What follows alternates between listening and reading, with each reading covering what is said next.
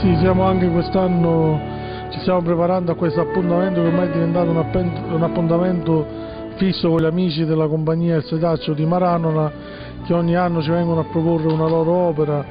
Quest'anno sarà arricchita anche dalla lettura di alcune poesie del nostro eh, conterraneo Enrico Mallozzi, il nostro poeta, ed altre poesie che, mh, di attori locali che sono compresi in questo libro dato dal setaccio del quale se non vado errato ci stanno anche poesie del nostro caro concittadino il maestro Antonio Verrico che sono appunto piaciute talmente tanto da essere inserite in questo libro. E questa è una cosa che ci inorgoglisce e, e, ed è un vanto per noi e, e ringraziamo anche Antonio Verrico e i suoi ragazzi per questa opera con la quale contribuiscono a portare alto sempre il nome del nostro paese. Quest'anno stiamo vivendo un Natale particolare come in tutta Italia e per questo anche le manifestazioni che stiamo programmando e realizzando sono all'insegna della sobrietà come si impone nel contesto in cui stiamo vivendo. Per cui abbiamo realizzato delle serate teatrali come occasione per stare insieme in queste serate di, anche di cattivo tempo e di aggregazione riflettendo su temi seri ma in maniera eh, ludica e ricreativa. Seguiranno poi altre manifestazioni fino all'Epifania, ma sempre, ripeto, all'insegna della sobrietà come scelta voluta dalla Prologo e anche dall'amministrazione comunale. Infatti anche nelle luminarie natalizie abbiamo deciso di applicare questo principio illuminando in maniera simbolica solo le piazze principali del paese. Io ovviamente ne approfitto per fare auguri, visto che siamo in tema, a tutti coloro che vedranno questo filmato su Facebook e tutti quindi gli affezionati di Tele Facebook, eh, tutti gli amici e anche i non amici che ci seguono su, su Tele Facebook, quindi che diventeranno nostri futuri amici, su questo nuovo mezzo attraverso il quale siamo tutti in collegamento e del quale ringraziamo Antonio Verrico che veicola eh, i nostri messaggi e le nostre manifestazioni attraverso questo strumento. L'associazione culturale Il Sedaccio di Marannola ormai possiamo dire che è di casa qui a Santissimi Cosmi e Damiano. Ogni anno puntualmente, come diceva il grande Totò, noi siamo qua per portarvi una delle mie commediole che annualmente rappresentiamo nella settimana del teatro amatoriale.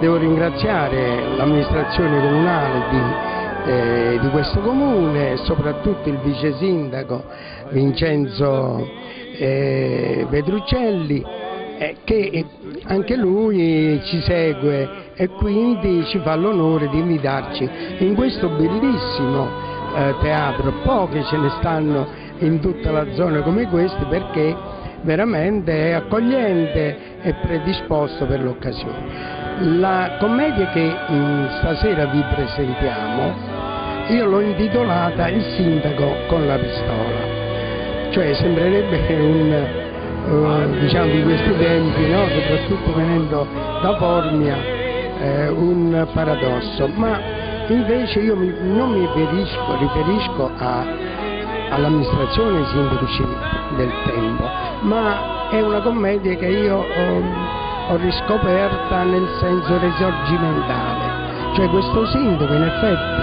è un sindaco che è vissuto subito dopo l'unità d'Italia, è diventato eh, sindaco nella frazione tra Trivio e Maranola e quindi egli ha agito già per avviare questa unità d'Italia. Ecco perché stasera mi piace di dare un messaggio. È un sindaco, è poi veramente un personaggio determinato, eh, lo chiamo la pistola perché in quei tempi si andava armati e lui non solo era armato per motivi personali, ma soprattutto era armato perché andava in quei tempi, subito dopo l'unità d'Italia, sapete, c'era stata la rivolta dei, degli ex diciamo, affezionati alla casa eh, borbonica. E quindi i briganti sui nostri monti aurunci ce ne, sta, ce ne sono stati diversi.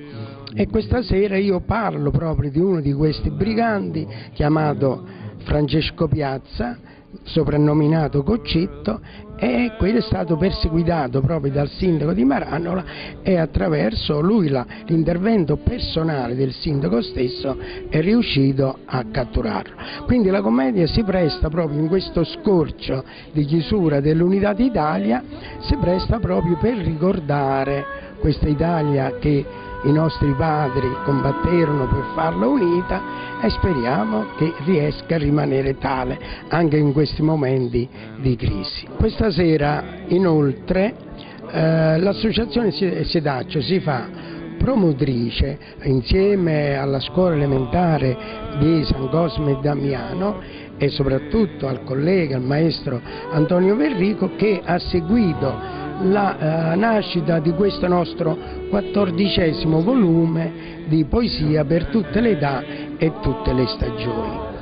È un opuscolo che noi annualmente stampiamo in collaborazione con l'amministrazione comunale di, di Formia e soprattutto con l'assessorato alle politiche sociali eh, Giuseppe Dreglia. Qui raccogliamo le poesie non solo degli anziani formiani, ma anche di ragazzi, giovani, giovanissimi e bambini come quelle di, eh, che quest'anno abbiamo voluto raccogliere nella scuola di San Cosme e Damiano. Un ringraziamento va anche, oltre al maestro già citato, anche alla dirigente scolastica Angela Falso che si è dimostrata disponibile a permettere ai suoi alunni di partecipare a questa iniziativa. E benvenuti a questa serata teatrale per Sedaccio che vi presenterà una commedia in due atti di Antonio Forte e sindaco Maristone. Prima di cominciare vorrei ringraziare l'amministrazione comunale di San Cosma in nome di Vincenzo oh, Petroscelli, vice sindaco, che ha organizzato, mi sembra anche ieri hanno fatto un'altra serata. Quindi lo ringraziamo per l'invito e ringraziamo per l'invito che puntualmente ogni anno lui ci fa e noi siamo ben lieti di venire a, a farvi il nostro teatro.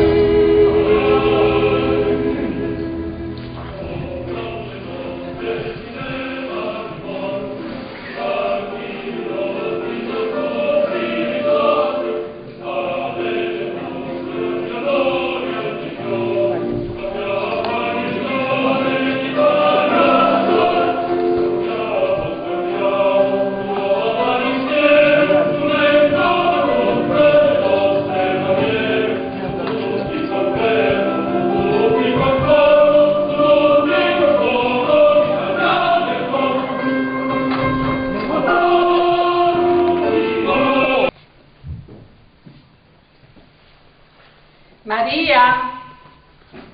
Maria? Maria? Che c'è, Pati? Innanzitutto ti volevo avvisare che oggi abbiamo invitati di riguardo. E poi fammi una cortesia, mettiti un po' più decente qua, aggiustati un poco. Ma guarda un po' questa come è combinata, qua. E poi mi devi fare una cortesia. Non chiamarmi con quel patè che mi sa tanto di pasticcio francese. Pasticcio. E come mi hai già chiamato?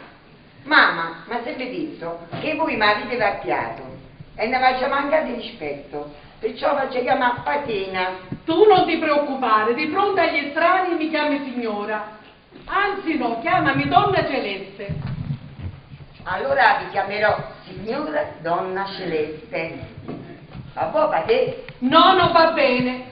Se non mi chiami va meglio. Allora ti volevo dire che mancano le posate qui, non ci sono per tutti. Ma come non ci sono per tutti? Che altro ci sta? Che si è fatta Granticella e sulle montagne non mancano i mascalzoni. Hai fatto bene mamma, quando si può fare un'opera buona non bisogna mai tirarsi indietro. Quanto zucchero fa Giovanni? Non Lascia. prendo caffè io. Lascia Maria che ci penso io, che siete amici per la pelle e che insieme sparlate sempre del re. Ma tuo figlio e frate mi ha detto di starti attento, che i tempi sono pericolosi. Anzi, mi ha No, no, devo andare perché Giovanni mi ha promesso di farmi vestire col cappuccio della congrega. Vai. Poi se vado tardi se lo mettono gli altri, io resto Non ti sempre. preoccupare, vieni qua, fai colazione che il cappuccio te lo conserva tuo fratello. Meno male. Dai, eh. Ti costa la montagna di soldi. Come fai? Cioè, se sei fatto bene i conti, ce la facciamo? E Carlo tra un paio d'anni si dovrebbe laureare e comincerà a esercitare. Solo l'altro, Angelo, per diventare medico ci vuole un po' di tempo in più. Ma quanto sarà anche a costo di fare qualche sacrificio? Anche Leonardo dovrà studiare. Femmina, basta una buona dose di un matrimonio azzeccato e si sistemerà pure lei. E quale sarebbe questo matrimonio azzeccato, papà? Eh, Luci, tu stai a dire, fai le vostre. Papà, ti ho già detto un'altra volta che se tu pensi per gli altri, per me no, io la mia vita me la vedo da me.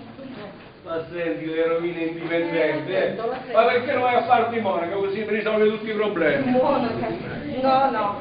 Proprio domenica prossima alle 11 alla Villa Capusele la contessa Montano della Ferretta ha convocato tutte le giovani disponibili per fare l'assistente Che assistente? e per assistere agli ammalati. Sì, donna. Ma noi abbiamo già Angelo che fa il medico, a che serve questa E assistente perciò, malato? perciò eh, se lei studia da assistente potrà aiutare il fratello in farmacia. Maria! Maria! Ma di che c'è? E vedi se lì su c'è abbastanza caffè al latte, che deve scendere ancora Carlo a fare colazione. E c'è rimasto solo un po' di caffè. Portala a bere quello, va. E poi per Carlo vai a fare dell'altro.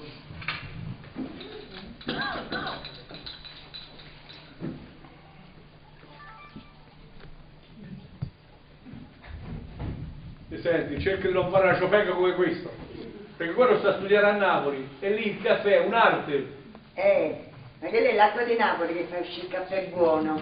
Così mi hanno detto. Noi usiamo l'acqua della cisterna. Ringrazio, vedo bene stanotte. Benissimo, quasi dorme meglio che a Napoli, papà. Eh certo, lì fa più caldo. Eh, non solo, ma la notte a tutte le ore passano le carrozze e quelle sul selciato fanno un rumore che mi sembra un terremoto, sì. Eh, la miseria. Maria, porta a provare il caffè, ah. Ah, ci sta. Ottimo, mamma, mi sono mancato a Napoli. Eh, come ogni volta che, che, che vieni ti fa portare una sporta. Ma mamma, ma sono troppo buoni, finiscono subito, capivo papà? Mm. Maria, porta il latte. Eh, Buongiorno. E bentornato. Grazie, grazie Maria. Ogni volta che torno ti trovo sempre più bella. Mm, che le belle guaglione che stanno a Napoli. Eh. Eh sì, sono bella Maria, ma sono guzzo Eh, tu, tu invece sei tutta una cosa, Maria. Ma io ho pigliato i biscotti. Regno delle due dei Borboni si chiama Regno delle due Sicilie. Una è l'isola e l'altra qual è? Però quando Carluccio queste cose le sa e quando torna ve la faccio spiegare. Eh. Maria! Maria! Vedi chi è? Perdona, Pati, non avevo sentito. Tu con un zoccolo solo vai in giro per casa. Eh, me ne spandevo di panno un po' all'ascolo, un zoccolo mi è caduto di sotto. Ma io subito, Va bene, fa vedere chi è, va, va. Subito, Pati.